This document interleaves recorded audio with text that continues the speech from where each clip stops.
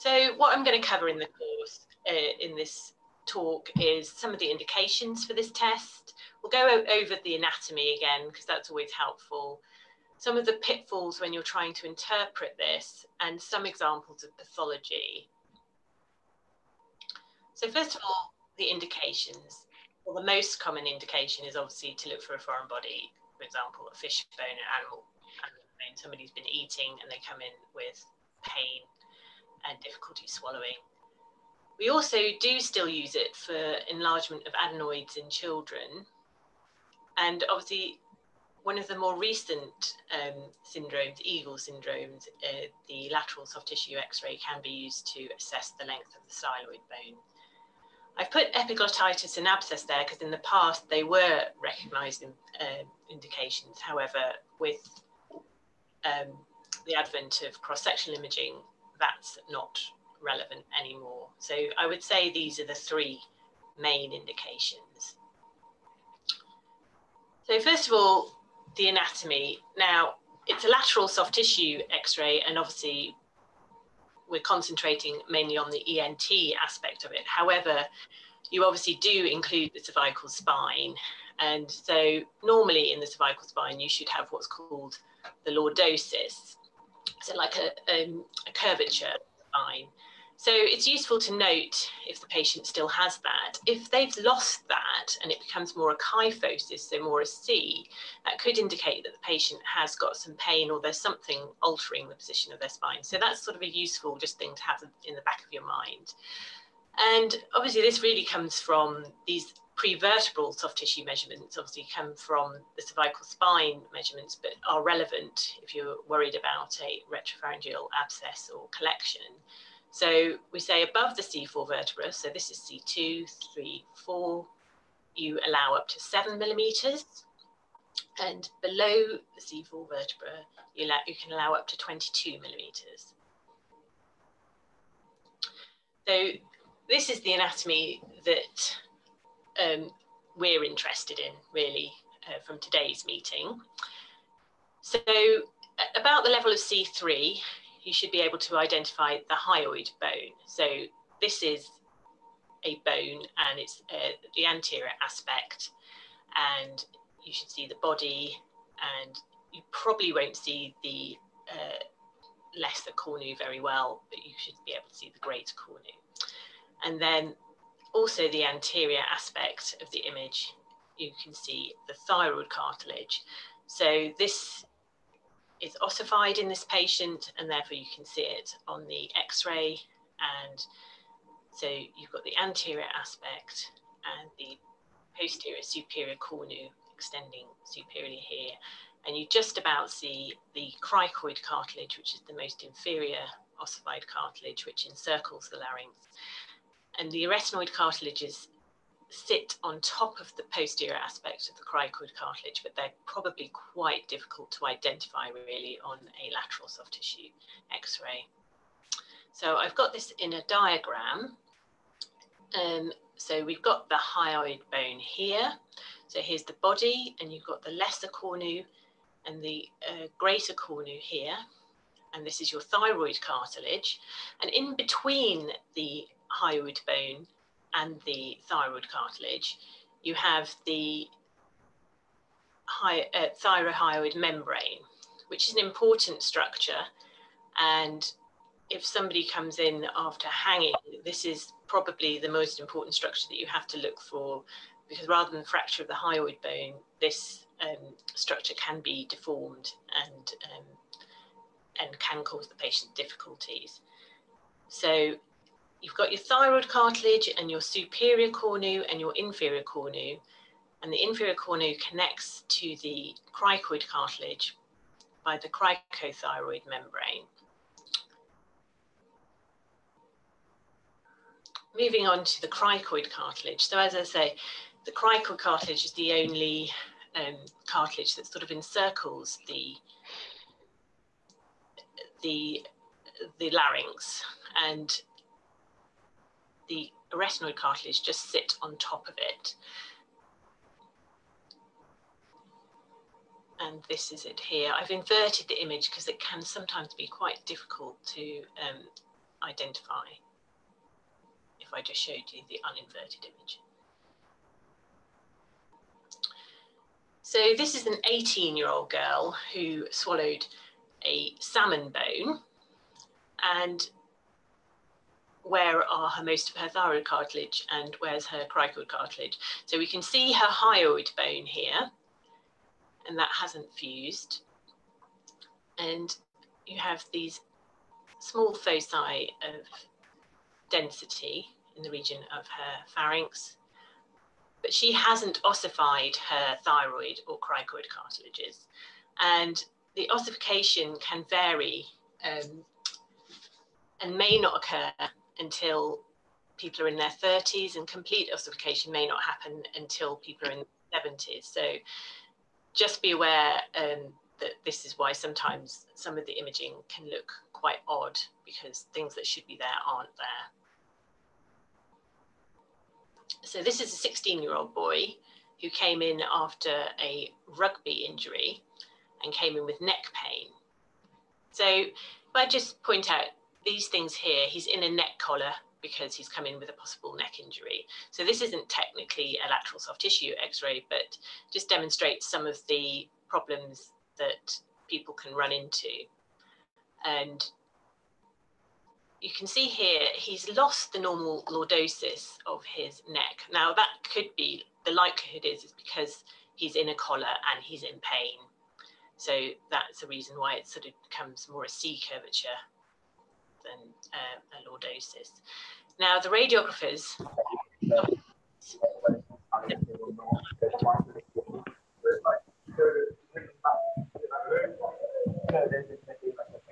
can everybody mute themselves?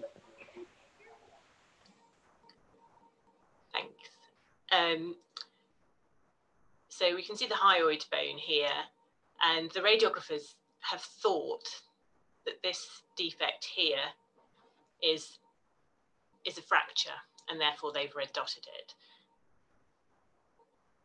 Now, the patient went on to have an x-ray, and a CT, for their neck pain, not because of the hyoid bone, but fusion of the hyoid bone can again be quite variable and potentially never happen. But on the CT, you can see you've got the body of the hyoid bone and the greater cornu and the lesser cornu here, but they're very well defined, these edges. So this is not a fracture, this is just non-fusion of the hyoid bone. And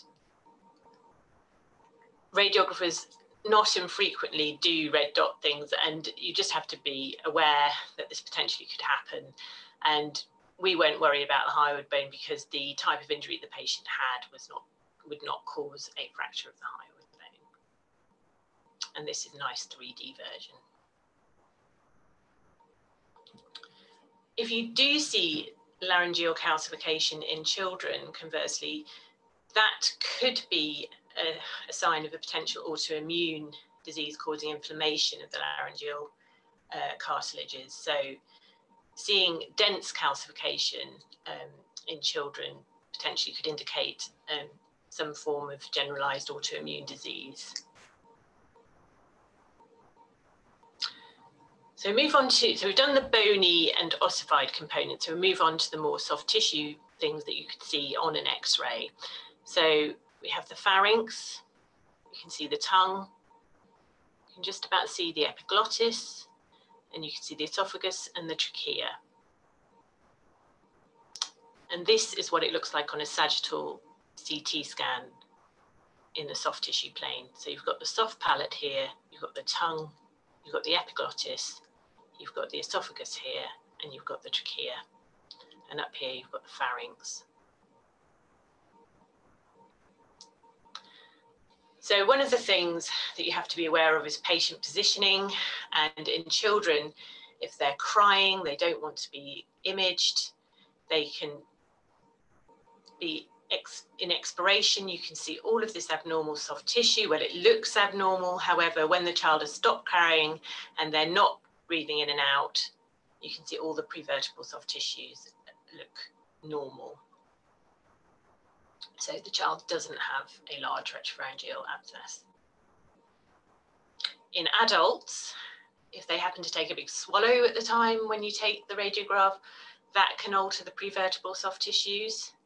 So then they've obviously swallowed at that point and you think, oh, this isn't following the seven millimeter rule. And here you can just see the tissues all look normal when they've repeated the study and the patient hasn't swallowed. So obviously we're not in the room and I can't see everybody's faces, but I would ask, is this normal or abnormal? And I'd hope everybody would say this is abnormal. So this is the C2 vertebral body here. And the rules state that the prevertebral soft tissue should be seven millimeters.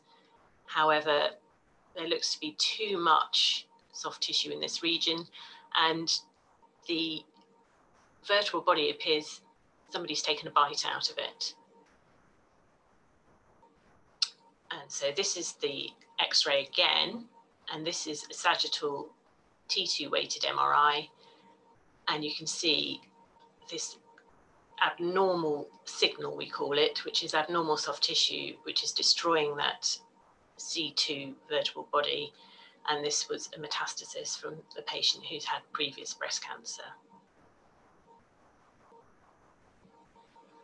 Again, this is another patient who came in problems swallowing and we look here, yeah, the soft tissues look fine.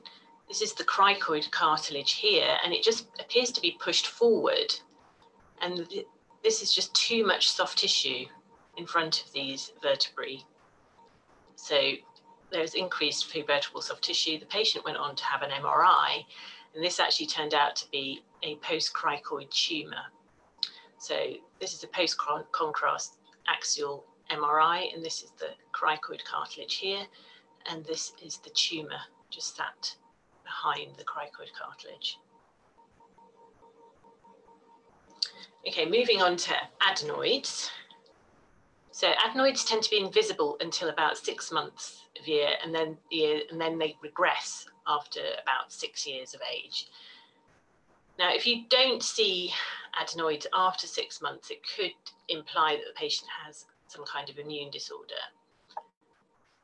So adenoidal hypertrophy, large adenoids could obstruct the eustachian tube leading to recurrent ear, ear infections. It could cause speech problems potentially if the child is becoming deaf due to repeated ear infections that could affect their speech and obviously if their nose is blocked um, that could also cause speech problems and because their nose feels blocked, they end up breathing through their mouth, and that could affect how they eat, lead to snoring, which leads to sleep apnea, which could lead to right heart failure. And some papers mention you can get elongation of the middle face and a high arch palate. So this is a lateral soft tissue x-ray done to look at a child's adenoid. And it's not really size you're looking at. It's really how much um, the adenoids are in, impeding on the nasopharynx. Um, and actually, there's apparently good correlation between nasendoscopy and uh, how the adenoids look on the lateral soft tissue x-ray.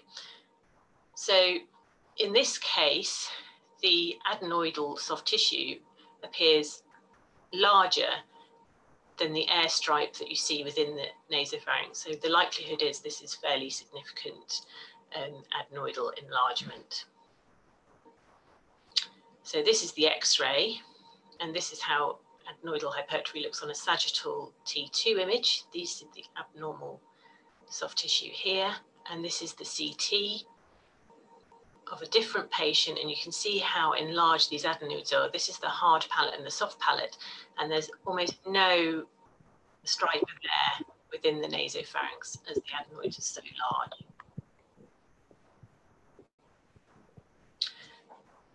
Fish bones. So this would be the most common uh, reason for requesting a lateral soft tissue best uh, X-ray. So as we've previously learned, fish bones have variable opacity depending on the species of fish, and there's the A&E book that says the visible uh, fish tend to be cod, haddock, coalfish, lemon sole and gurnard, and herring, kipper, salmon, mackerel, trout and pike are not visible. However, that is with plain film radiography. And that was a few, now a couple of decades ago, Gerald de Lacey, who was a radiologist in London, and he x-rayed all of the fish bones and came up with this. However, we have moved on and now we use digital radiography. And with digital radiography, we're able to window things a lot better. And so now all fish bones should be visible um, on a lateral uh, soft tissue x-ray. Now, interestingly, deep sea water fish, those who swim deeper in the water, they have reduced ossification of their bones, whereas cod, which apparently swims in more surface water, have more ossified bones. Um, so potentially cod is still slightly easier to see, but you should be able to see all fish bones. The difficulty you have is that the fish bones could be obscured by the hyoid bone or the ossified cartilages and potentially by any um, soft tissue edema that may be on the film. So this patient does have a fish bone. You just see that linear density there. But as I've said before, they can be obscured by soft tissue swelling, and you may need to look for indirect signs.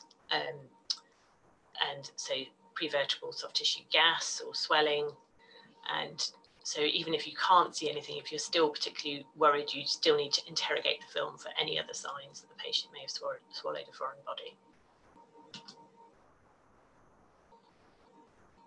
So this is an example of another fish bone, just to give you some examples. So at the level of the C5 vertebral body, and this is it in closer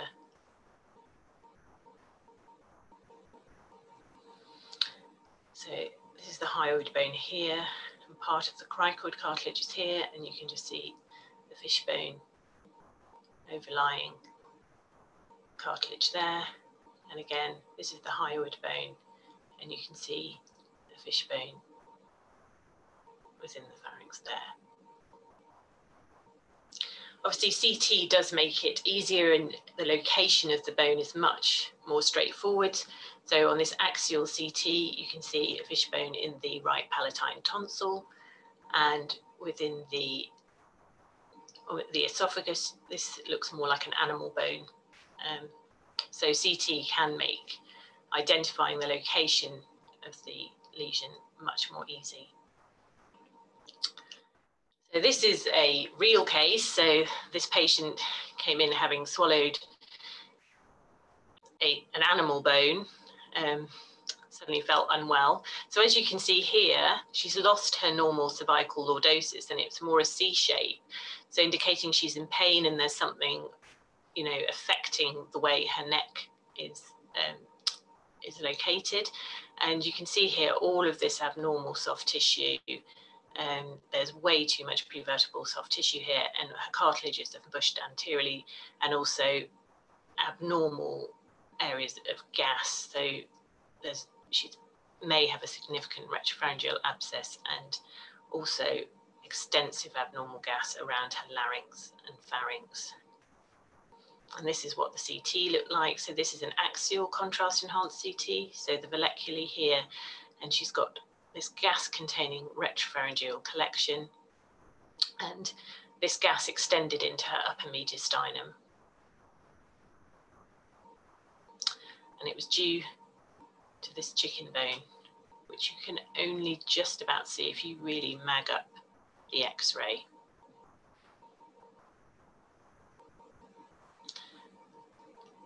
So this patient swallowed a chicken bone and you can see there's localized increased soft tissue, prevertebral soft tissue lower down the neck and they went on to have a CT. And this is the hyoid bone here and the superior cornu of the um, thyroid cartilage. And there's abnormal soft tissue in the retropharyngeal region extending into the left side of the neck.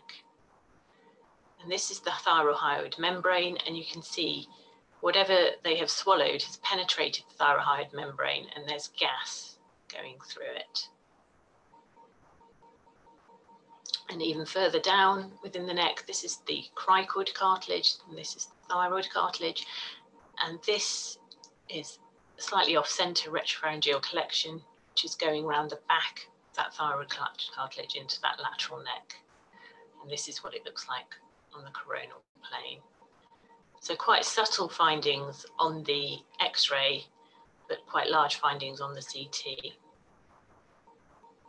So that's fish bones. So we're moving on to another lateral soft tissue X-ray, and I'm sure you've all spotted the thumb sign. I just thought I'd show a couple of images of epiglottitis,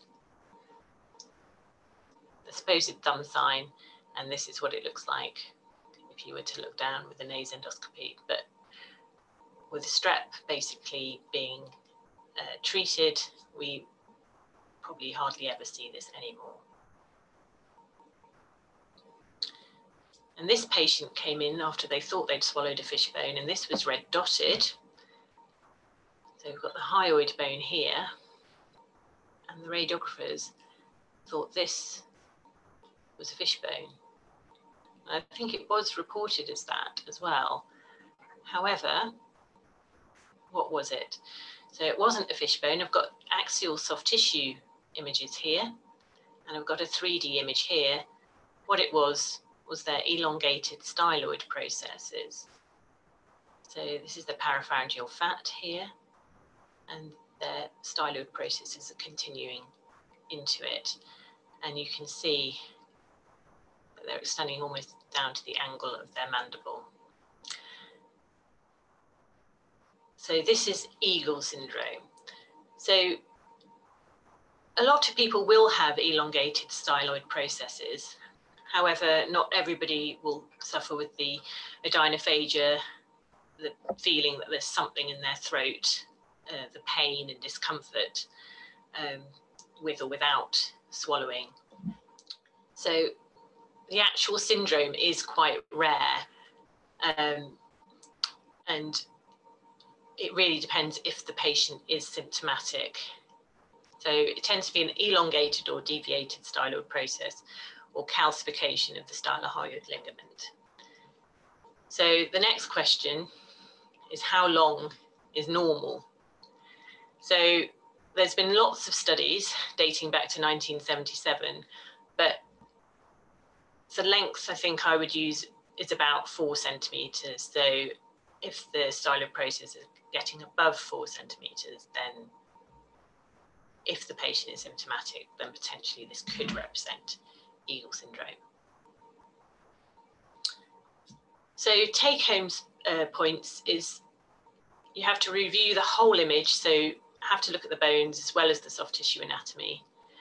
Remember any pitfalls, because um, you've obviously know the clinical history. Maybe the patient's taken a big swallow, or if they're a child, they're crying, so the soft tissues may be altered. With digital radiography, all fish bones should now be visible and keep an eye out for any secondary complications, so prevertebral gas and prevertebral soft, uh, soft tissue swelling.